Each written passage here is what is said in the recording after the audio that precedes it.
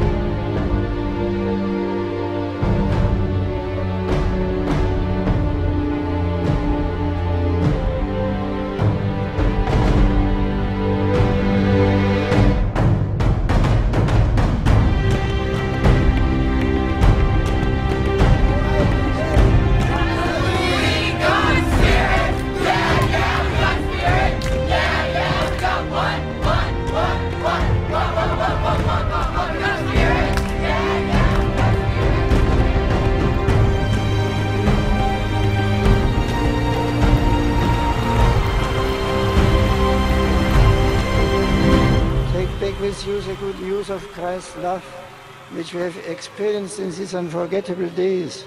God bless all of you until we meet again.